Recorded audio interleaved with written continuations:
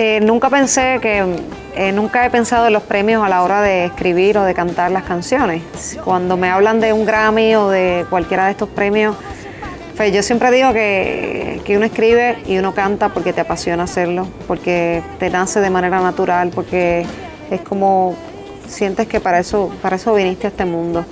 Y creo que cuando lo haces de esa forma, cuando llegan este tipo de premios, pues no solo te toman de sorpresa, sino creo que hasta te los disfrutas un poquito más.